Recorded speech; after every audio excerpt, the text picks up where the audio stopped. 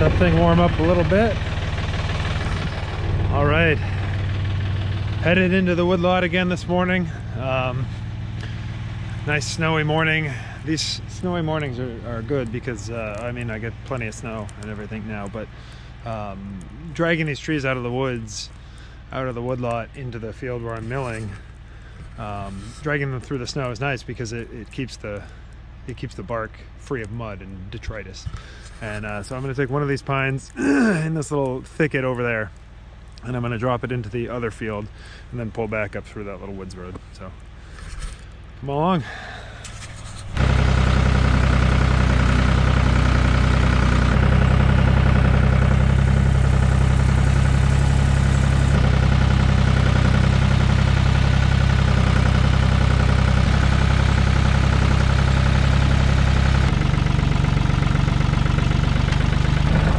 Okay, who's it gonna be? That I want to keep, I've got kind of pruned to get a couple logs out of. That's a nice tree. I want to save that. That's got some great marketability here in uh, you know 10, 20 years. These are hemlocks that I go along and I, when I was younger and pruned up to get a good saw log out of. Might be this big big guy right here. Hmm. That's pretty nice too. I think I'll say Nice. Maybe that's the one I was thinking. Right, actually, right up into the the other field. That'd be more convenient, wouldn't it? That would be more convenient. Not gonna touch that big old bull pine. I think that's the ticket. Let's go back to that other field and pull that in, back up into it. We're in it now.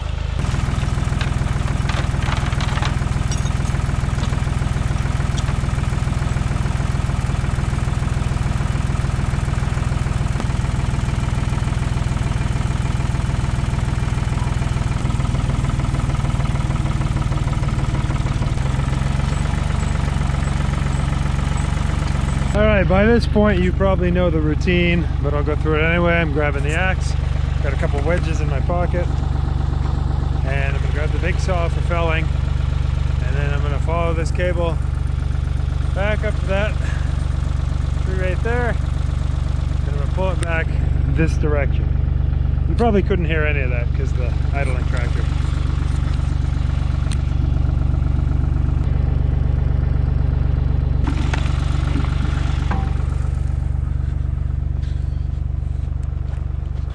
Tamarack.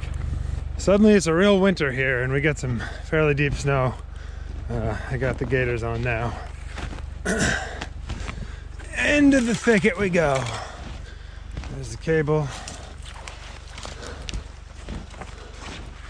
Got some nice little maple trees in here that I'm I'm uh, I'm hoping to thin out around and let them grow up tall. I have a nice little sugar bush for maple syrup. So I was able to climb up this little hemlock and position that choker and the cable up a little bit higher. And uh, as a result of that, I can get a little more leverage. So, gotta tune this up anyway a little bit.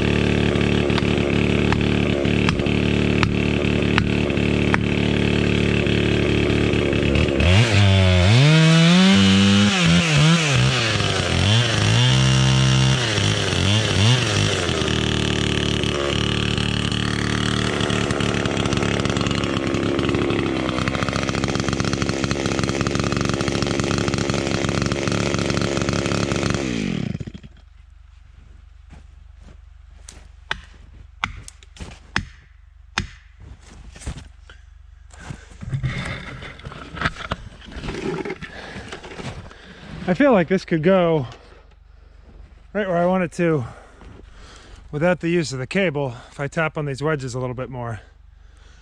I'll give them a little bit more, uh, another tap or two, and then I'll head out and pull it down.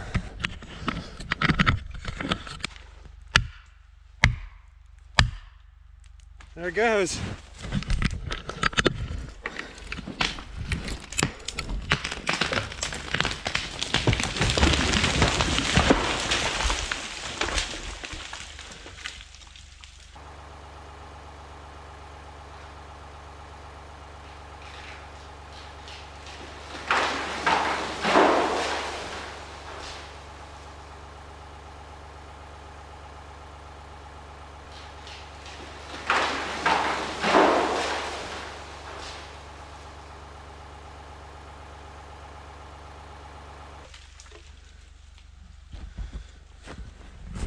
Cool. Well, I uh, I like to be out in the uh, field just kind of for the view, but I mean this is easier.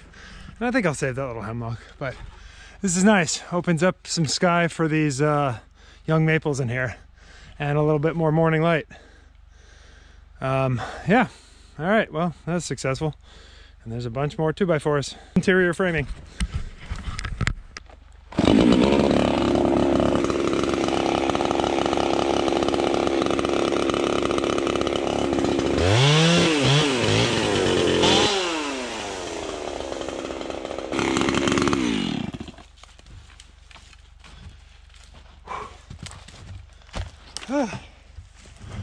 That's a lot of work. All right, go drag those tops away.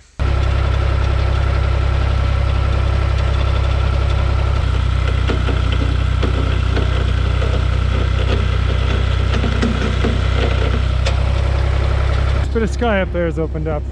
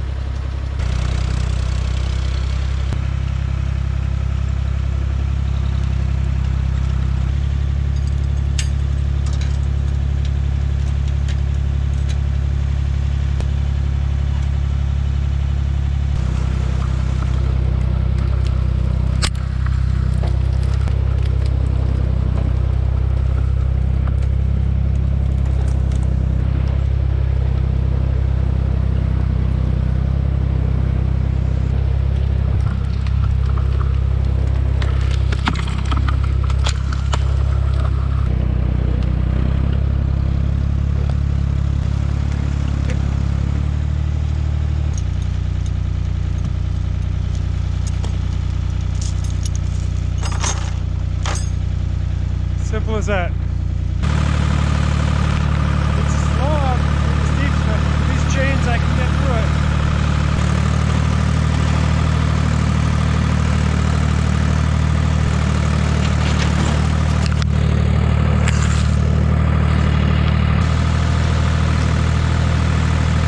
Okay, now I got to uh, measure it to the length I want, which is 11 feet. But I gotta, I gotta try to get as much of this out in one fell swoop as possible, which is hard because it's a giant, you know, it's a giant log. It's a 50 foot log right now, so the tractor can't really pull all that. But it'll, uh, I wouldn't have to cut other trees if I can pull it all at once. So I'll see what I can do here. Get that right there.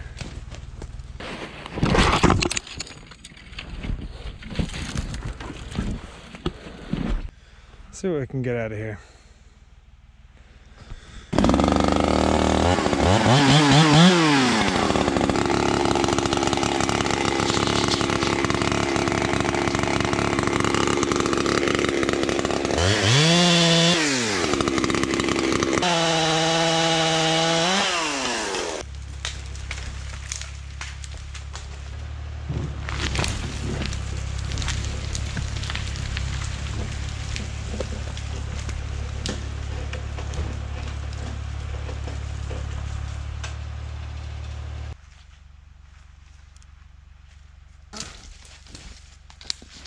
Well, once again, I'm surprised, although I shouldn't be, by the great power of that winch um, to be able to pull that. I don't know how much it weighs. Somebody out there maybe does, but oh, I don't know. Uh, many thousands of pounds uphill through the thicket. And uh, by doing so, I'm able to preserve this small uh, maple maple grove that I'm trying to uh, trying to foster. So I'm gonna come through in the spring and the summer and thin out the little ugly ones, but I'm and the moose maple and stuff, and I'm selecting for the sugar maples that are in here, and a couple beech and oak here and there, but plugging away. Yeah, that's uh, that's another pile of pile of lumber. The easy way.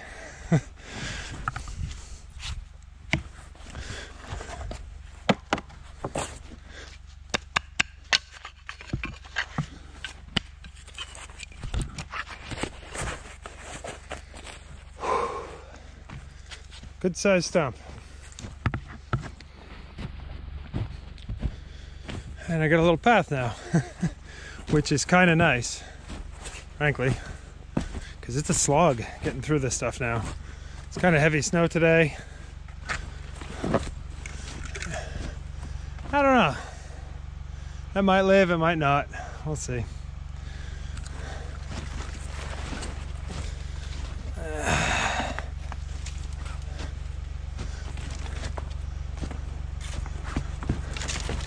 And there it is.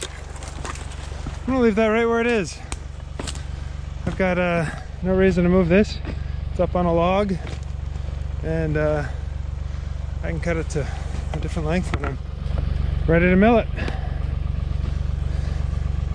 I can nip this crook, that bend out of there and get an eight foot log out of there and a 12 and a 10 out of this. So looking pretty good.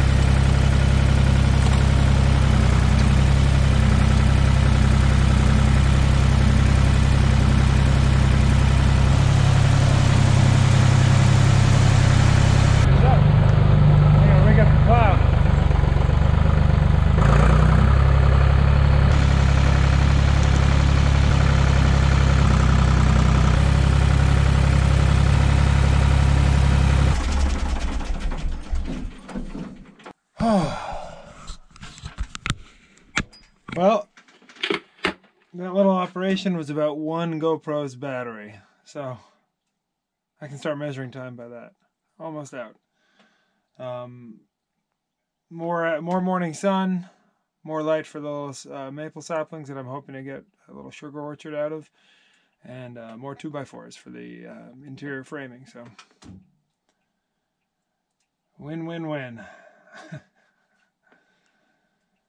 oh.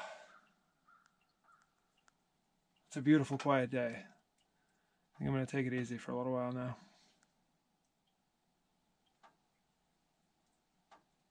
Yeah. Thanks for watching.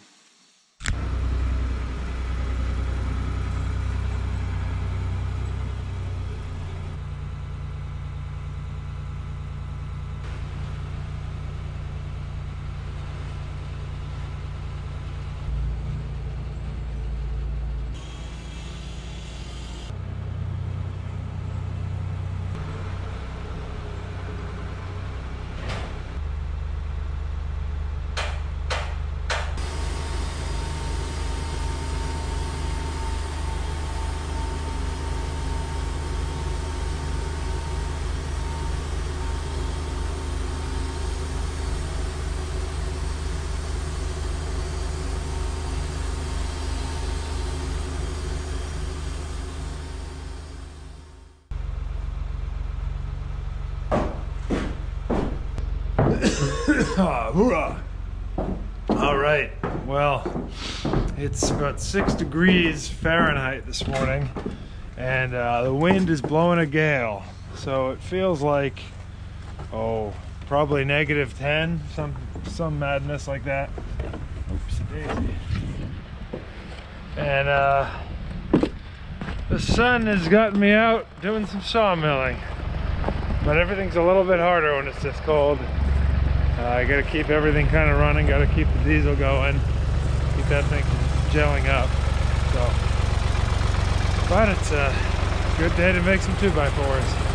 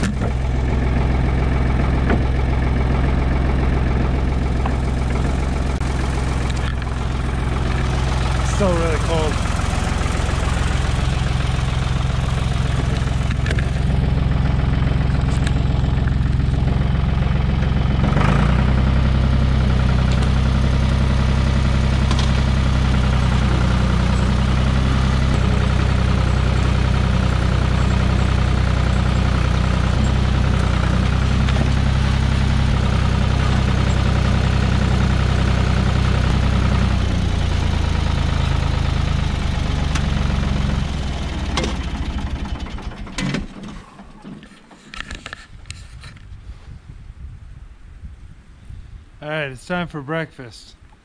I'm gonna park this in such a way that I leave the fuel system dust devils of snow. I'm gonna park this in such a way that I leave the fuel system exposed to the sun and I hope that uh, the diesel doesn't gel too much when I'm up eating breakfast. But I'm gonna come down and get the rest of that log, that tree that I milled yesterday, or dropped yesterday, get that milled up into more 2x4s.